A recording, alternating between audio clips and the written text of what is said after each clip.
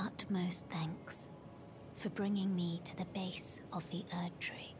Here, I can govern my own movement, and thus, the accord is fulfilled. I shall depart to ascertain the purpose I was given. Farewell. I shall leave Torrent and the power to turn runes into strength here with you. I wish you luck in realizing your ambition. You have fought long and hard. I have no doubt you will become Elden Lord. May you take the throne.